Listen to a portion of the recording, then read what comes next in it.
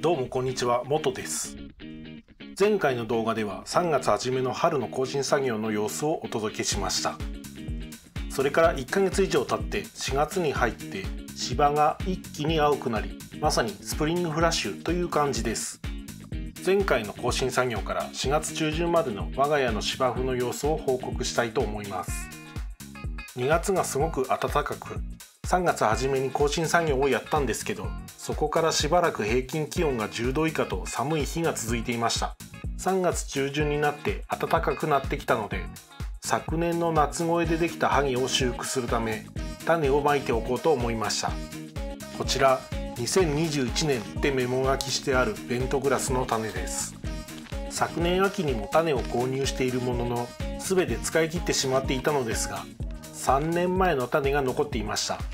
ベントの種って1年経つと発芽率が半分くらいになるらしいので3年も経っていると10%程度になっているかもしれません。ちょっとしたハゲの修復程度なので少し多めにハッシュしておいてそのうちの1割程度が発芽してくれればいいかなって感じで種をまいておきました。安物のドライバーでハゲている部分の表面を荒らしてから種をまいています。表面を荒らすことで種が風や雨で流されにくくなります。種をまいた後はメスナを薄くかぶせています。ところが暖かくなったと思って種をまいたら翌日からは冬に逆戻り。1週間くらい平均気温が1桁台の寒い日が続いたこともあり全く発芽しません。箸からちょうど2週間の3月30日頃になってやっと暖かくなってきたのですがやはり発芽はしていないようです。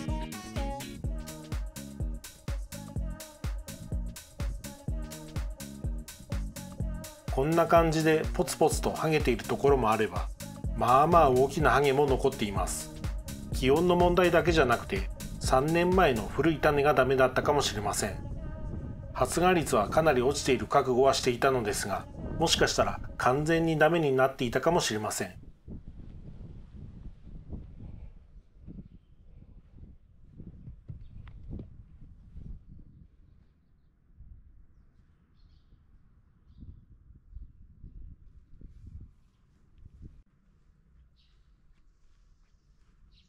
さらに1週間後の4月6日です。3月の月末以降は平均気温も15度前後になってきたので芝がだいぶ青くなってきました。ようやく成長スイッチが入った感じです。グリーンの半分側、こちら側はきれいに生え揃っているので刈り高を下げて刈り込めばすぐにでもパッティングができそうです。こっちの半分はハゲが残ってゴツゴツしています。暖かくなっているのに3週間前にまいた種は全く発芽していません。やっぱり種がダメだったみたいです。というわけで新しい種を取り寄せました。このように小分けにしてニューベントグラス007の種を販売してくれる業者さんってなかなかないので、いつも購入しているショップは重宝しています。地理的にも我が家からも近いところなので発注した翌日に届けてくれる良心的なお店です。2袋以上買うと送料無料になるのでいつも2袋以上で買うようにしています。まずハゲのところを見てください。全体的にハゲが埋まってきているように見えるのですが実はそうではありません。こちらは芝草の生え方を模式的にイラストにしたものです。高麗芝のように匍匐形で広がっていく芝ですね。クリーピングベントグラスというくらいなので、ベントも匍匐形を持つのですが、実際は高麗芝みたいな匍匐形で広がるというより、まいた種のところから分裂して密度を増やしていくということの方が多いみたいです。それでも、ベントグラスも密度が高い状態だと、一本一本の茎や葉が立っている状態であるということも、この図から分かっていただけるかと思います。ベントグラスが一株だけで成長してしまうと、このように根元から分裂して、上へ横へと茎や葉を伸ばした形になります。ある意味これが芝草としての自然な形状でして、種をまく密度を増やすことで、芝草の株を密にすることで、茎や葉を横に伸ばせなくして上に立たせているのが芝生であり、バッティンググリーンとなります。芝の種をまくときに種の量が少ない、もしくは発芽率が悪かった場合、株の密度が低くなってしまうと芝生の中でこのような株化した芝草が見られることがあります。ベントグリーンの中に株化したものが混じっていると低い刈高で刈り込んでいる時に株化した個体は軸刈りのようになってしまいます。株化した個体は低く刈って軸刈りしたとしても横に伸びた茎や葉は刈高より低い位置にあるので刈られることがなく他の個体よりたっぷり光合成して根も伸びるため茎や葉がとても太くなってしまいます。このように剥げているところは縁のところが株化しやすく株化していなくてもハゲの方に茎葉を伸ばして茎や葉が肥大化しやすくなります。ハゲを覆うように茎葉が伸びるので、ハゲが埋まったようにも見えるのですが、葉の陰でハゲからは新芽が出にくくもなるので、種をまく前に横に伸びた茎葉をむしり取っておきます。株化してたり、ハゲの縁の横に伸びる茎葉は、刈高4.5ミリで刈り込んだ後でも、4.5ミリの刈高をかいくぐって、4、5センチの長さの葉が残っていたりもします。見た目でハゲが埋まってきているように見えても、これだとパッティングのクオリティが悪いのは明らかなので、そのまま放置するってわけにはいきません。あと、SNS とかベントグラスを販売しているショップの口コミにも書き込まれているんですけど、購入した種をまいたら違う種類の芝が生えてきて抜くのが大変っていうのをたまに目にします。これっておそらくは株化したベントグラスのことだと思います。そもそもベントグラスの自然な状態というのが株化した形なのを密度を高く生やして頻繁に刈り込むことで成長を抑制しているわけです。播種した時に密度が低かったか、刈り込みが甘いか、どちらかじゃないですかね。私はこのショップで12年間でほぼ毎年のように種を購入していて、トータルで数十袋は購入していますが、他の種が混じっていたということは一切ありません。ベントグラスのような非常に微細な種を持つ芝草も珍しく、他の芝草は種がもっと大きいのですぐにわかります。基本的に私は手で巻くことがほとんどなので、そんな種が混じっていたらすぐに気づくでしょうし、12年間一度も気づいたことはありません。明らかに違う草が生えてきたという経験もありません。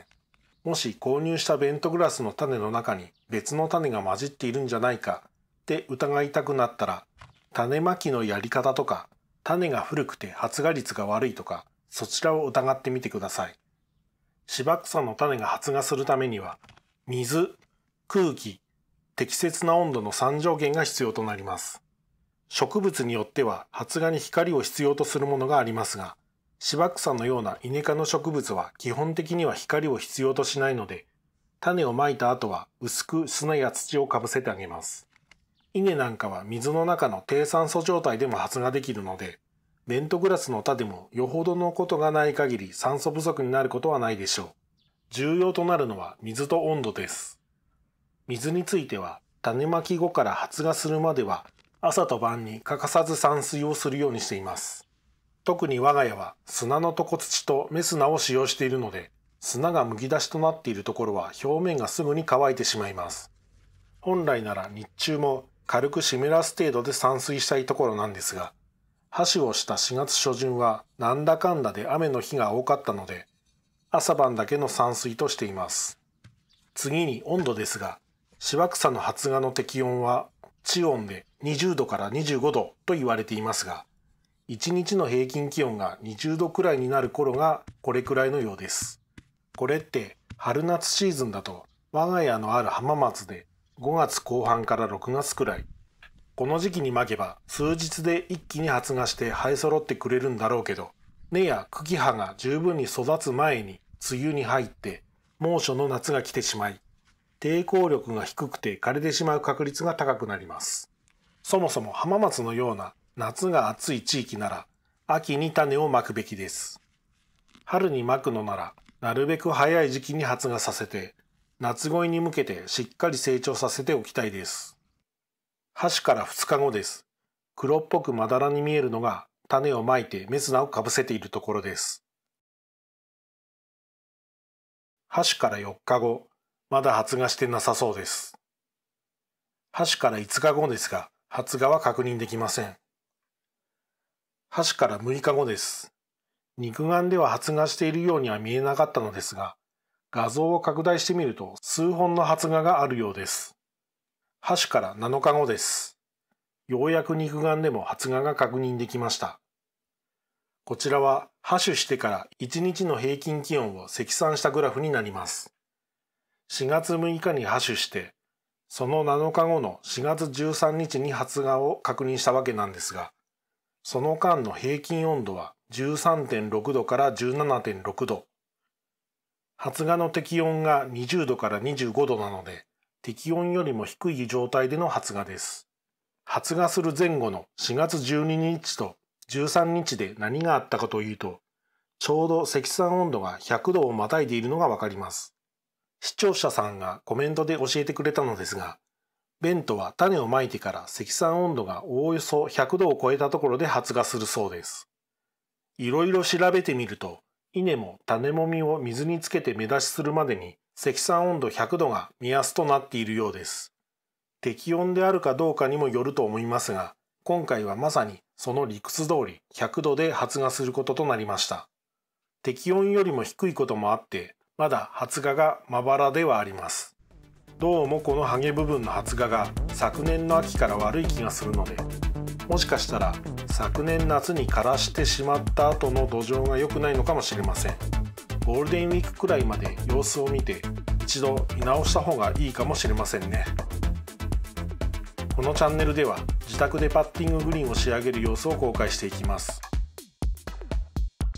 ご視聴ありがとうございました。